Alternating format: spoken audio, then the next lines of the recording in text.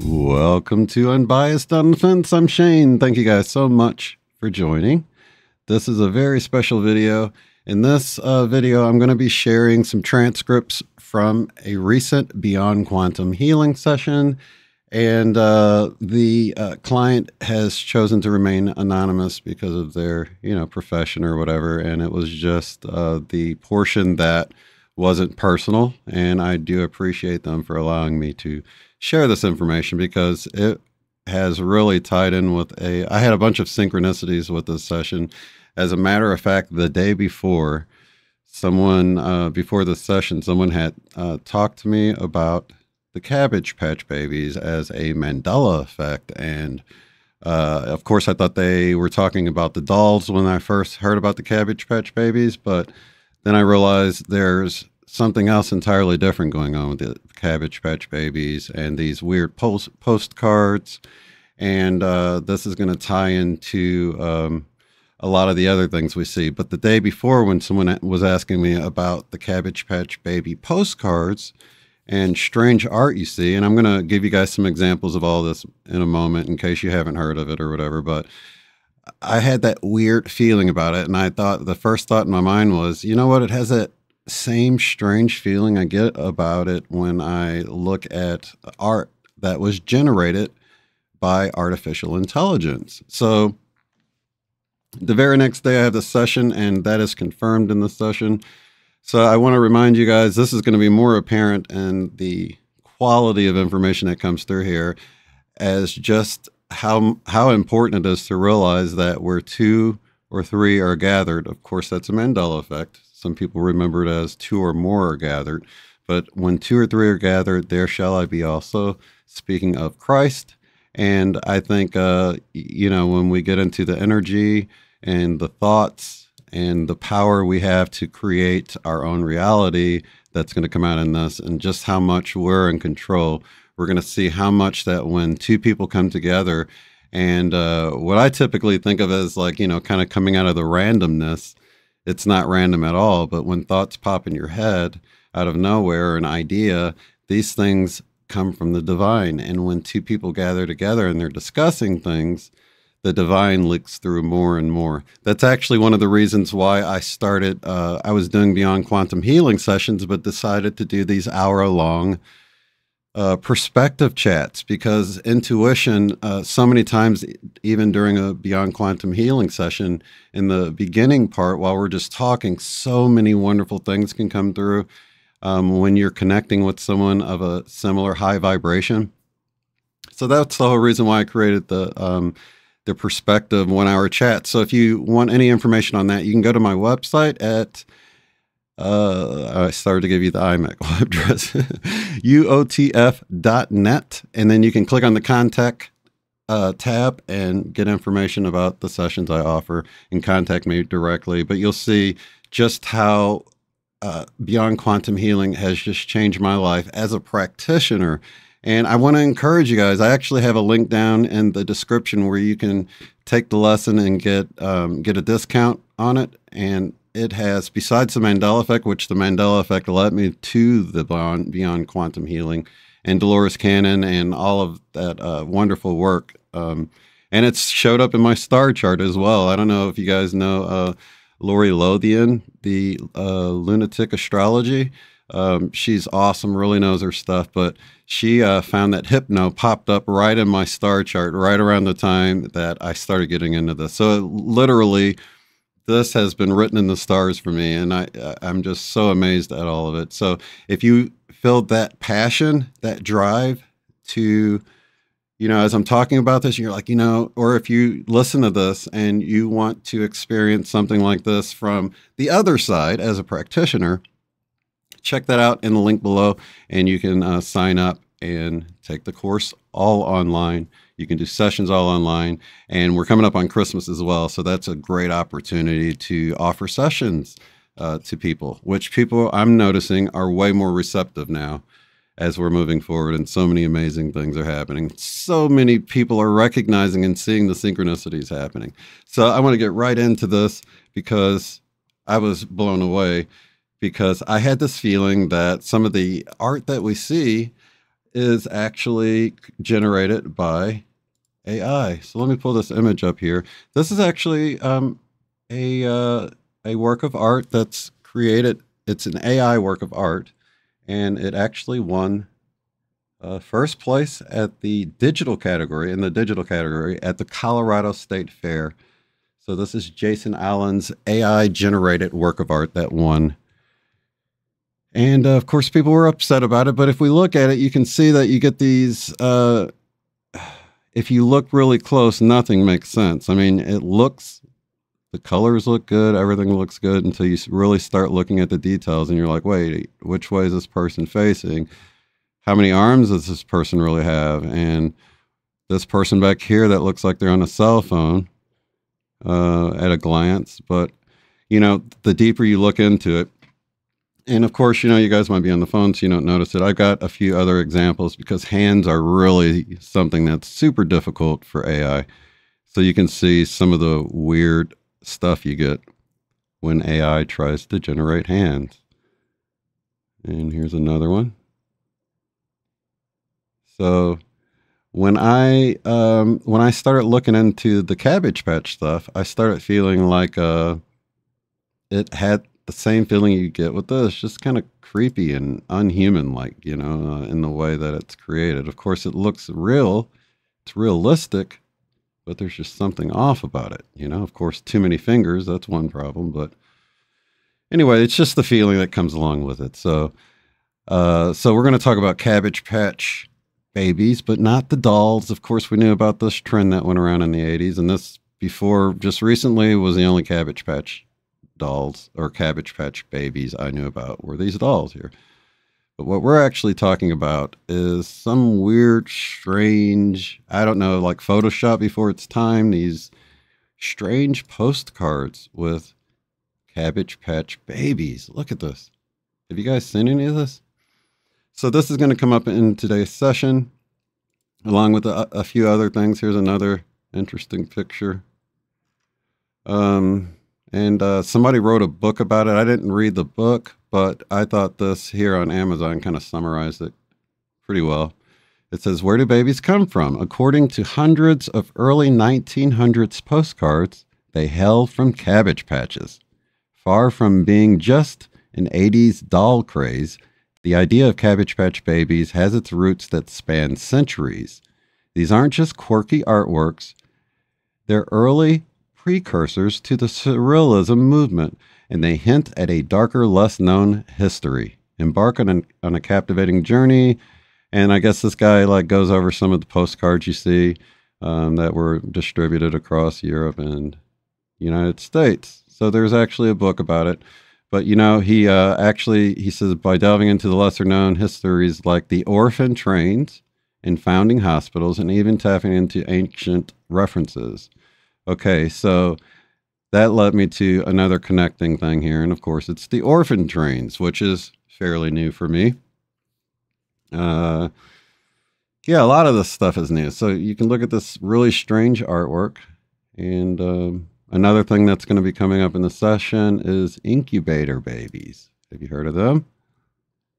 Uh, here's a little uh, a little snippet here. Um, this comes from this website website here. It's tourists strolling along the Coney Island boardwalk in the summertime, circa 1920, would have heard the barkers beckoning. Don't forget to see the babies. Those that he- heeded the call, perhaps after enjoying a, enjoying a hot dog or a ride on the Cyclone, paid a quarter and stepped into a room where the tiniest of infants, weighing two or three pounds each, were on display in individual incubators. Uh, Madame Recht uh, this nurse occasionally wowed the crowds with a special trick, placing her diamond ring around a baby's wrist. So yeah, incubators are gonna incubator babies are gonna come up.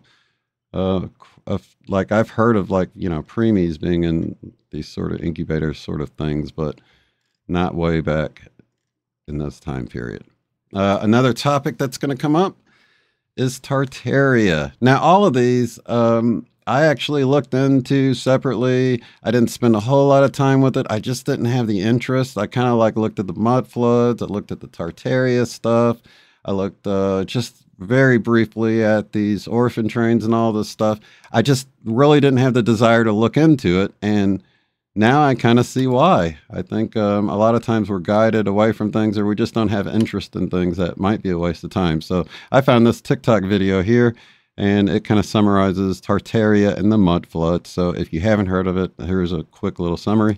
The Tartaria mud flood theory is a controversial hypothesis that suggests a catastrophic event took place in the 18th or 19th century, resulting in a massive flood of mud that covered entire cities and wiped out entire civilizations. According to this theory, the civilization of Tartary, which was once a powerful empire that covered a large part of the Eurasian continent, was destroyed by this event, and its existence was deliberately erased from history by the ruling elite.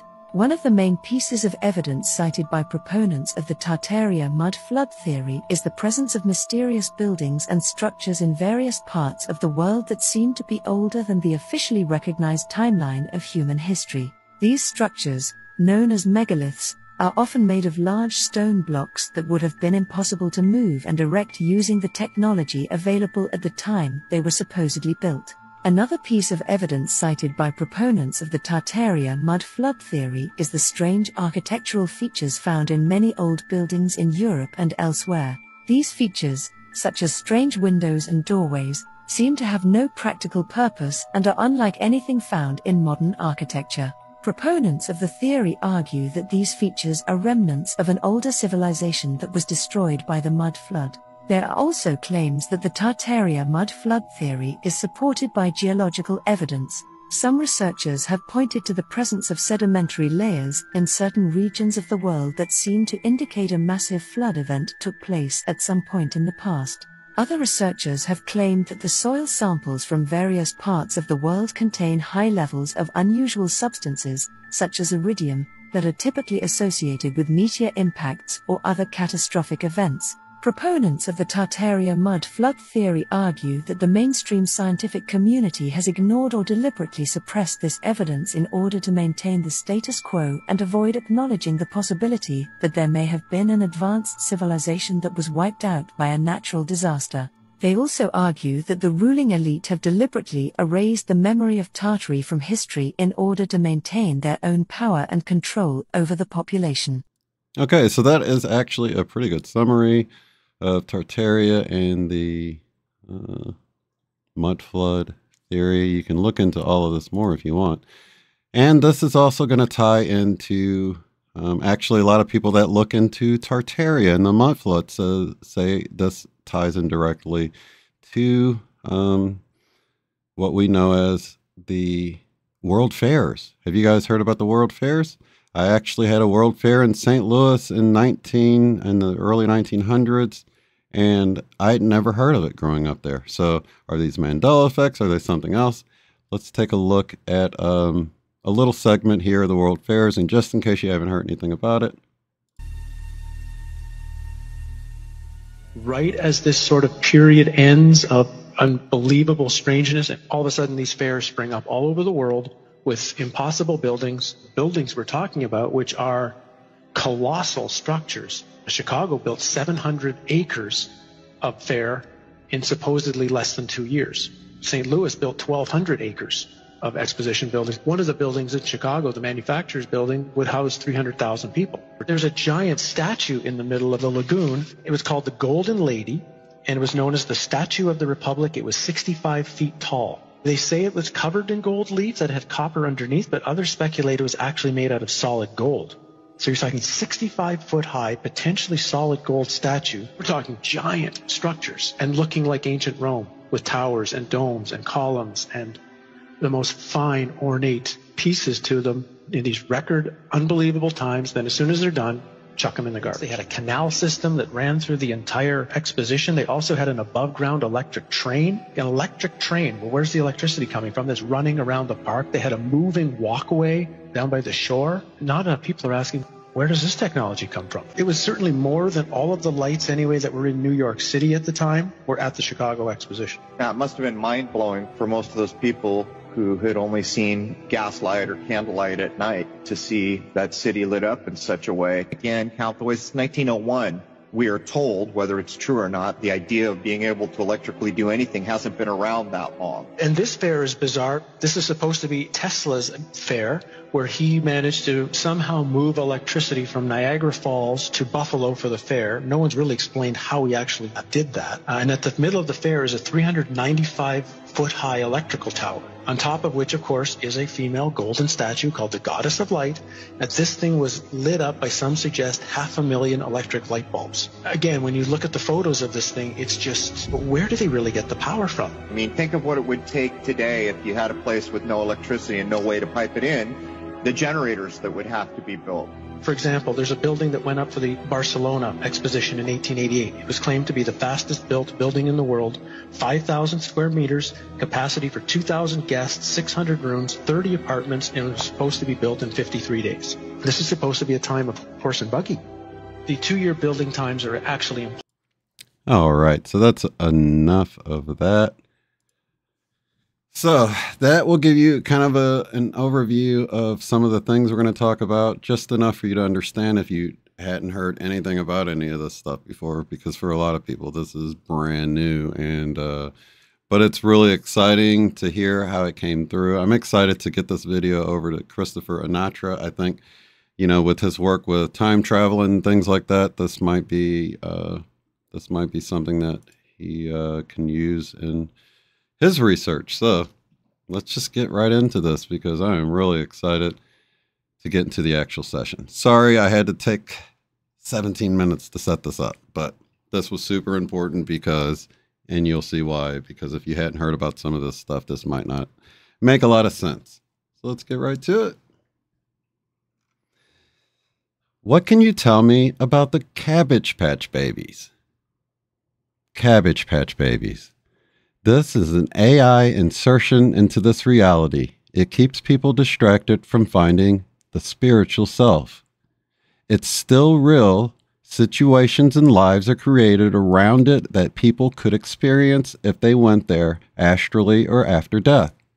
The babies grew up, had lives, and have all moved on.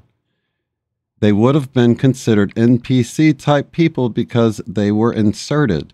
There are also other NPC people here now that are a result of other AI inserted stories that haven't even been told yet. That is how there's NPCs. Wow, the creation of NPCs. Now, can these NPC, NPCs be taken over by real souls at some point, like as in walk ins? A walk in can go into any living conscious being but they arrange it ahead of time.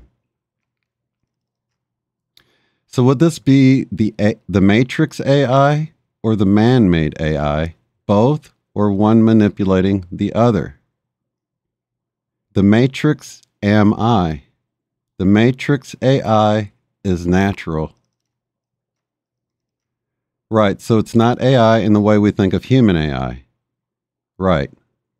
Can the natural matrix be hacked by the unmanned, un, or sorry, by the man-made AI, if it's allowed. So if it's part of the overall script, yes. And if a soul allows it, that's how you have some people that deal with demonic things while other people don't have that experience at all. Okay, so the human AI can manipulate a conscious being which is connected to the natural matrix and can affect it? Is that the chain of events?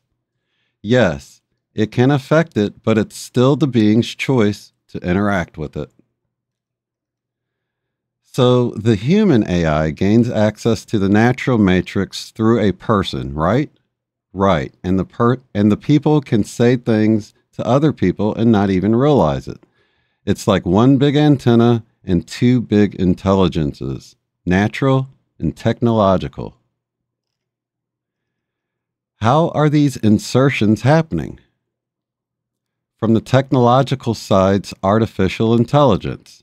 There can be inserts from a long time ago that show up now in our reality or from the future time and it shows up now. So this is done with a computer or something like that? It is.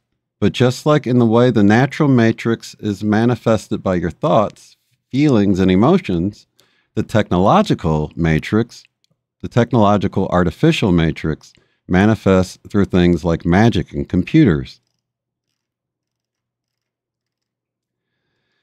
Let's use the AI insertion of the Cabbage Patch Babies story as an example to help us understand how this all manifests. AI creates the story and puts it out there, making it look as if it really happened. How is the natural matrix triggered to create things to support the story, like all the babies? In this story, these ba- babies basically were showing up out of nowhere all over the place. There's some truth to the idea people had that they were just grown, like in a cabbage patch, because they seemed to be everywhere. This all goes along with the story that Earth was reset and had to be repopulated. These stories have become a reality because of the manifestation ability of the technological AI. Everything is possible, whether it's natural or technological. What the story is put therefore, is to distract people from their spiritual journey now and create a bunch of NPC like beings, but some ended up being real beings. The real beings, were they walk ins or were they born with a soul naturally? They were all walk ins, but to be blunt about it, a lot are walk ins when they come here, even when walking in for the first time as a baby.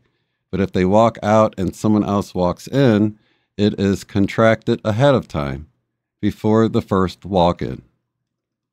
Right. So they're not like empty cars anyone can just hop in and drive away in. It's all controlled like needing the car keys. Right.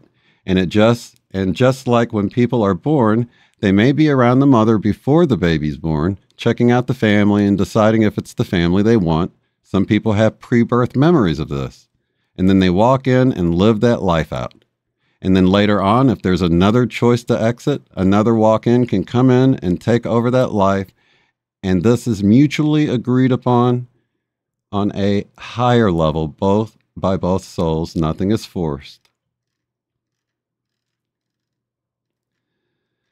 Are the mud flood and Tartaria stories also connected with this Cabbage Patch story that's been inserted into our reality by AI. It stems from it. What about other stories? Are there any other conspiracies connected with all of this that we haven't talked about yet? Yes, things connected with world fairs and incubators. Understand someone can go into this and access it, live it out, and experience it, and they're creating it as they go. Does that make sense? Kind of like seek and you shall find? Yes. Kind of like if you follow an NPC home, you will see they have a house and a family waiting there that may not have been there until you went and looked and it was created. Yes, you put it well. So when you see these world fairs with these enormous structures that have been built in record time and then tore them down, it was basically really created and destroyed on a computer. Yes, it really works like a computer. It's putting it into our re- our natural realm like an overlay, but it still feels like matter. Now, I just uh, missed how deep this line actually was. I want to read it again because uh, this actually tied in with some of Gosia's work real early on. Uh, Gosia from Cosmic Agency on YouTube uh, about us actually living in 5D, but just having like this 3D overlay of things. So uh, that took me back to to that discussion. So I really wanted to read this one more time. Yes, it really works like a computer. It's putting it into our natural realm like an overlay, but it still feels like matter. So when we see these other changes in history, like the Black Tom attack on America by Germany that damaged the torch on the Statue of Liberty, are these also part of this negative insertion? Are these separate, or how would you categorize all of it? Well, it's really interesting because each insertion can have multiple purposes, and other purposes can be even be created as they are discovered. For instance, If there's someone who studied the Statue of Liberty a lot, they may find synchronicity and magic and things connected with the Statue of Liberty. A negative realm insertion can still be positive if someone chooses to be positive, chooses it to be positive. It sounds unbelievable, but it's true. In fact, when someone chooses to create a positive outcome from a negative realm insertion, it now becomes an option for other people who would have only seen and defaulted to the negative option before its creation.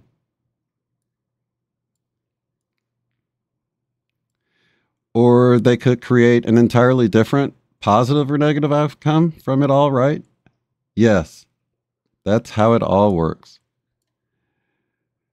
Are we going to experience a split in consciousness, a dividing of the people into two realities so we can have more growth potential and continue to expand?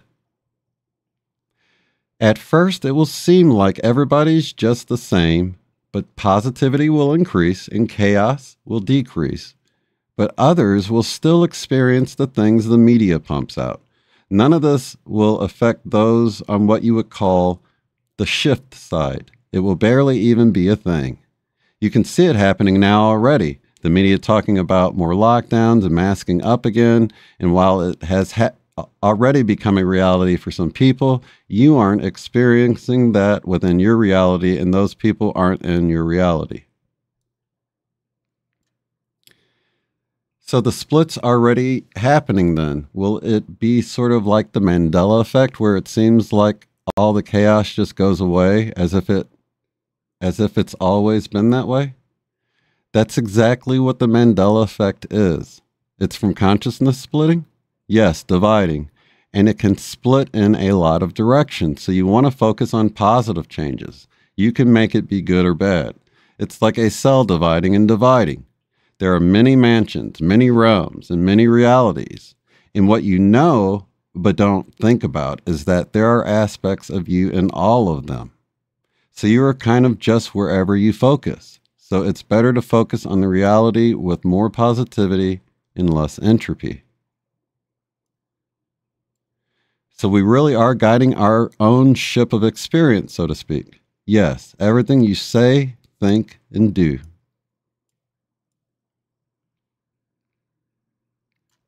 Can you provide any insight into why some people are experiencing a lull right now, downtime? Is this some sort of calm before the so- storm, so to speak? If you go on a bridge where there have been a lot of people with fear and anxiety crossing the bridge, you can run into the residual energy of that. Understand there are many thoughts, feelings, events, and memories that are really just swirling around.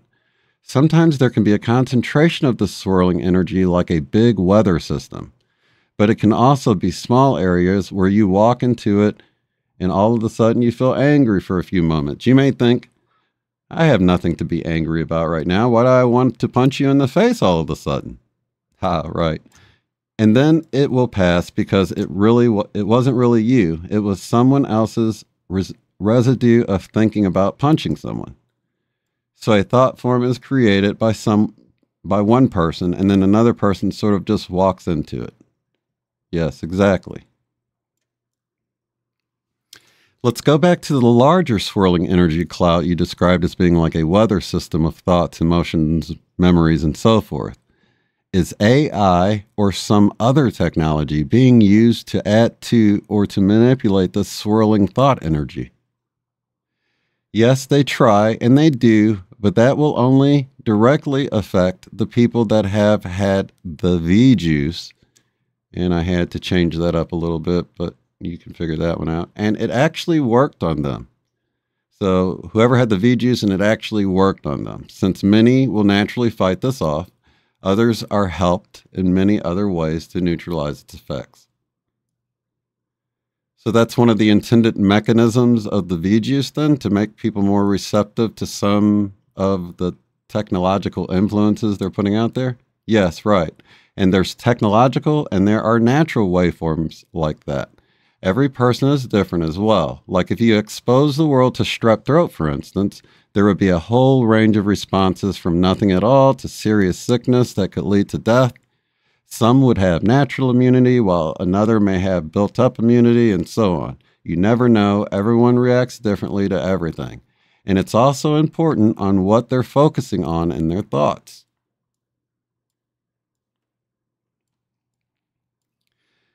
So, when we talk about natural ways this cloud of thought energy is affected, you mentioned our positive and negative thinking affects it. Would this also include things like music, movies that affect our thinking as well, which affects this cloud? Yes, it's created by emotions and thoughts. So if you watch a scary movie, for instance, and those feelings of fear are allowed to continue and continue, they can turn into a thought form and show up in your reality. There's many ways thoughts can be created. Even 5G waves that make you feel a certain way that makes you think a certain way. This cloud is self-sustaining from the physical and emotional response to it it's going to happen more and more because there's always more being created. But we can evolve beyond that, where we have a high vibe day, even though it may be extremely challenging, like skipping through puddles, where you can acknowledge something and not be affected by it, whether it's caused by someone else or an experience, whether it's natural or technological. You have the level of, awareness to recognize that it's not you and you just learn to move on from it faster. Are we in danger of the man made AI destroying the natural realm, the, the natural matrix realm? If that's what you believe, a place will be created for you to experience that. that's pretty interesting because right here just lets you know it's it's the person that saw that that experiences that, not everyone. So that's pretty that's pretty good because I te- I definitely don't see the overall reality being affected at all. I see it all as working together like cogs in a machine. All right, so we'll move on to the very last one here, I believe. What the most important message you can share with us, the collective, right now, where we are in this overall process? Answer There are a lot of people with good intentions and a lot of routes you can go down for information. Everyone has another perspective. It's almost better to not watch all those things because it causes you to maybe latch on to little things that you don't even realize you subconsciously brought into your reality and it grows. Other people's perspectives that make you doubt your very own experiences or put a fearful spin on them, and so on. For the reasons stated earlier in this conversation, you can see how these negative ideas of others can affect your own reality if allowed to grow within your creative thought energy. So, how about that? That was uh, pretty mind blowing. I just had to share it with you guys. Lots of love, light, and unity. Check the uh, description box for links. See you in the next one. Peace.